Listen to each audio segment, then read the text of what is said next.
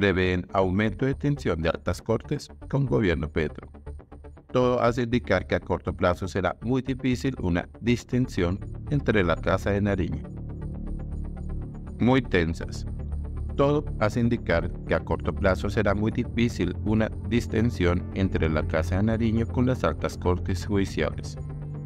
Según conoció el nuevo siglo, no pocos magistrados consideran que tanto el presidente Petro como varios de sus altos funcionarios, incluso de rango ministerial, han ofendido en materia grave a la cúpula de la rama jurisdiccional y no se ve una disposición a disculparse de forma pública y sincera.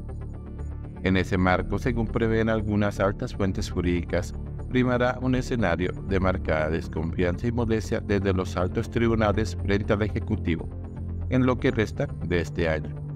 Lazo en el que se van a emitir una serie de fallos constitucionales, penales y del contencioso administrativo sobre temas de alto calado que muy seguramente van a subir las tensiones y llevarían a un escalamiento de los recelos de lado y lado los relegados. En las tortas de algunos movimientos de izquierda se afirma que hay una rebelión a la vista de cara a la conformación del nuevo partido petrista que debe reemplazar la coalición del pacto histórico, con miras a los comicios parlamentarios y presidenciales de 2026. Sabemos que hay una serie de dirigentes, candidatos y líderes de izquierda que no están muy a gusto con este gobierno, ya sea porque no están de acuerdo con algunas de sus políticas o porque creen que no los tuvieron en cuenta a la hora de los nombramientos y las vocerías. Se consideran relegados. Esa gente está tratando de crear movimientos alternos.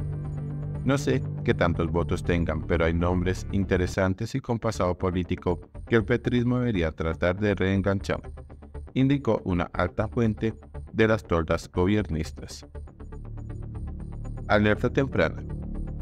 Tras el anuncio de varias comunidades indígenas del Cauca en torno a que volverán a bloquear la autopista panamericana, incluso no descartan avanzar hacia Cali para hacer más notoria su protesta en el marco de la Conferencia Global de la Biodiversidad COP16, que comienza el próximo 21 de octubre.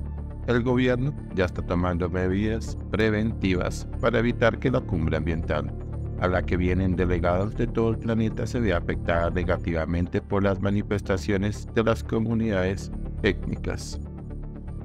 La alcaldía caleña y la gobernación del Valle urgieron ya a la Casa de Nariño que tome cartas urgentes en el asunto porque las mingas indígenas en el pasado han generado graves afectaciones e incluso desórdenes y azonadas en una ciudad que está preparando hasta el más mínimo detalle para ser la anfitriona del importante evento internacional. Sin embargo, el tono gubernamental hacia los manifestantes no estaría siendo el más adecuado, pues parece invitar a protestas más que disuadir a los manifestantes. Esta semana, los ministros de Defensa Iván Velázquez y Ambiente Susana Muhammad hicieron un llamado a los líderes indígenas para que sus reclamos los tramiten de forma pacífica antes las respectivas instancias gubernamentales.